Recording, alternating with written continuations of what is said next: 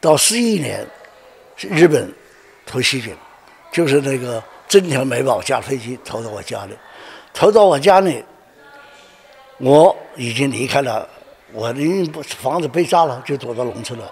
如果我不躲到农村，我同样要遭到细菌。来的目的是来参观者和所有的人。都能了解这个七三幺的性质。